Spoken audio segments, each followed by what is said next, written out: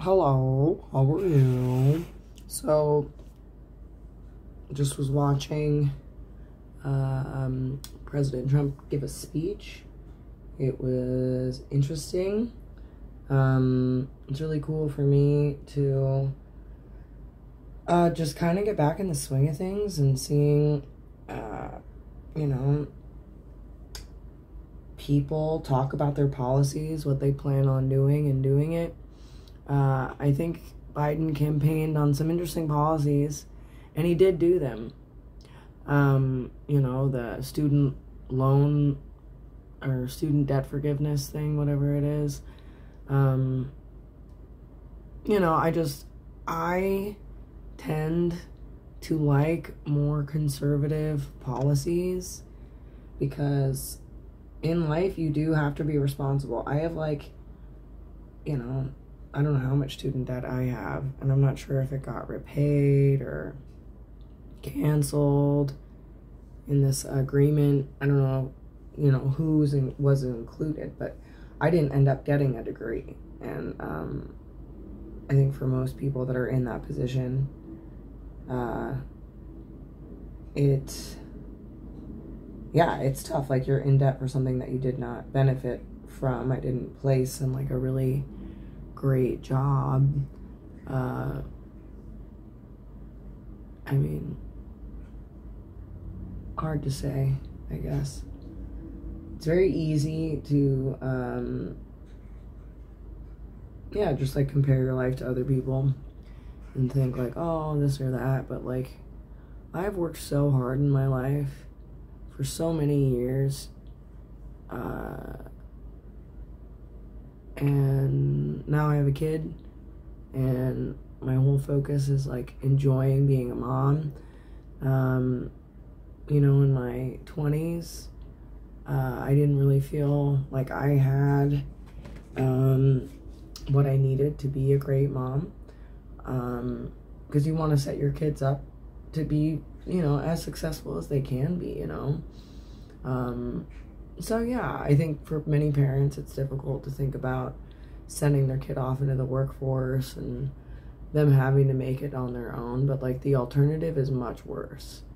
Um, you know, you would rather your kid be self-sufficient than like a drug addict who's always making other people do things for them and never growing up. Um, you know, there's a lot worse things than working a nine to five. In fact, I think that's like so funny in our society that people have this like, oh, I don't want to work a nine to five. Like, oh, so you just want to have a chaotic life every day? Oh, I hadn't noticed. So, yeah, I don't know. Um, I see where both of the, you know, both sides are coming from. But um, to me, it just seems like the liberals are always trying to tell you what to do. Like every time there's a liberal, you know, or a Democratic president, I guess I should say, there, there's like so many restrictions. You need more permits for everything. Stuff that like you didn't like need a permit for, you know, before. Now you do. There's just like so much red tape that they introduce. Um, because they don't really want any competition with like, you know, people that they deem uh, inferior to them. And so the only way to really like keep those people from competing with them is to just, uh, you know, make everything like make all these barriers to entry. Um, because I'd say the whole point for most people is trying to find a job that you enjoy doing so it doesn't feel like you're working. And uh, figure out a schedule that allows you to have as much free time as you can. Because if you had, if you just sat at home all the time, you would go nuts. It's not fun just sitting at home. It's fun to work. It's fun to, you know, have a shared goal and it's kind of fun to not like your job, you know? There's times you're like, oh man, this sucks. And like you have to practice gratitude. It's not like you're born just being grateful, you know? Like you have to practice it and and see like, oh wow, I work I'm working so hard to do all of this awesome stuff for myself. It is uh, so fun. It's hard, but it's worth it because I'm worth it. And not really seeing that attitude as often from young people. I don't know. It's kind of alarming because if you don't have the energy now, like you probably you're not gonna get like a second wind. Really, you gotta use your energy up and then like create a second wind. You know what I'm saying? Um, so yeah, um, thinking about a lot of stuff. I, I, you know, I don't really know like what the Dems are going for, but to me it just seems like the, um, you know, like the American dream to them is owning your own house or you know owning your own business, owning your own stuff, and um, I think somewhere along the way, these people realize, like, oh, wow, I never have to work if I just, like, you know, create a ton of passive income. And what better way to create passive income than to take away the middle class and just make them lower class so that they just have to try harder to get where they already were, you know? Um, and I think that's like a, you might say I'm fucked up and that's inaccurate, but after spending time with liberals, the standard of living that they're comfortable like having their friends or their pets or um, you know even themselves living in it does not speak well for like how they'll treat you.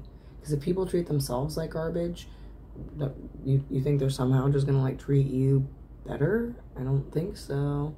Um so yeah that's what i see with the liberals. They're like really rough with everything. They try these like really aggressive policies, and if they're not working, like they won't like really change course. They just kind of like stick to it. Like, nope, it's working. And then it's only when a Republican comes along and it's like, Jesus fucking Christ, like, what did you do with the budget?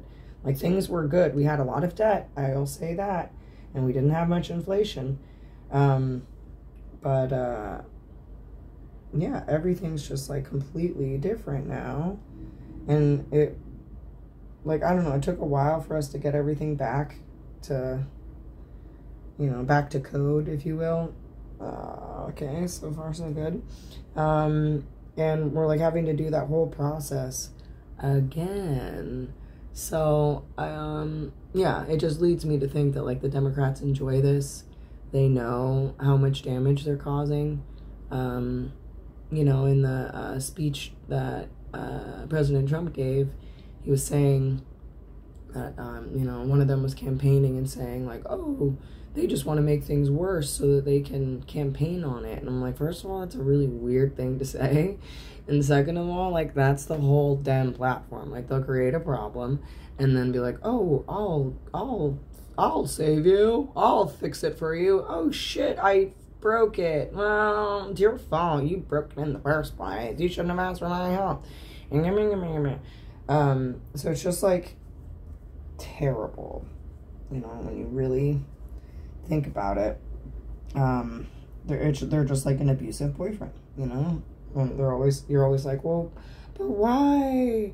Why did why did you lie to me? Why didn't you just tell me that blah blah blah blah blah that you had? I mean, that's exactly what I think about it. America is like the baby mama or you know the american citizens are the baby mama and then the government is the baby daddy and he has all these other hoes all over the world and he's like no no no babe i don't need to spend the money on our kids. I got kids over here i gotta take care of babe. You need to understand it's just gonna be for like a couple months and then things will go back to normal except they like never go back to normal and there's just like another war and like oh we have to help these people we have to help those people and meanwhile we're all like suffering. Like the average American can't afford to buy a house, uh, you know, can barely afford groceries. Like everything is just like uh, super expensive um, in most parts of America, and that sucks. I'm at a point where like I have like a little bit of cushion, so I'm like, okay, I haven't felt it as much, but I've seen it when I go shopping. I'm like, what the hell? Um, you know, especially when I was back home in Arizona, like stuff's just stuff can be really expensive. Soda was a little bit cheaper. Soda's crazy expensive here, I guess because people aren't buying it as much. Um, but yeah, I I I just want everyone to like figure out what they can do. Everyone has a gift, right? Everyone has something to offer our society. I don't know what it is. Maybe you don't know what it is, but it's up to you and your journey of figuring that out. To sort that out. And everyone knows that if you're thinking about a problem and you can't solve it, you have to go do something else, right? You have to go do some dishes or focus on a different task. And then you're like, oh, Eureka. Ah, okay, I know what I should do. Let's try this. Like, you're, you know, I forget what the term is, but if you're like, it's like, uh, you know, information saturation, you have too much information and you're not really sure what to do with it. Um, so yeah, I don't know. Like, there's so many different kinds of jobs and different things you can do. If you don't like your job, go get one that you do like, you know? I don't know. Like, it's just very inspiring for me to watch his speeches and just remember, like, our jobs numbers were crazy. Everybody had a job, everybody was making money, everybody was planning vacations and getting married and, you know, just going on awesome trips. It just, it made me feel really happy because in the Obama years, um, I was watching all of my rich friends go on vacations and buy houses and do things and be like, yeah, I saved for like six months and then I bought my house. It's no big deal. I'm probably going to rent out the rooms.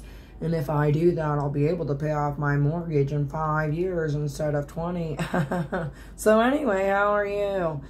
Uh, you know, it like, it just, it it drove me nuts. And these are the same people who like would forget their wallet and not be able to throw down and this or that or the other. I'm like, I can barely afford like my rent, and you're wanting me to pay for something for you, but it's like a, a behavior that they are practiced at. So, um, yeah, I don't know. I was so happy when I saw, um, you know, America choose to vote red because it just means that everyone has a higher quality of life rather than just like some people.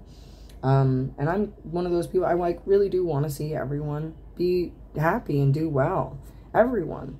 Not just some people or the people I like or the people that I think are cool or good enough. I want people that I hate to be successful because maybe they won't be so angry anymore. You know?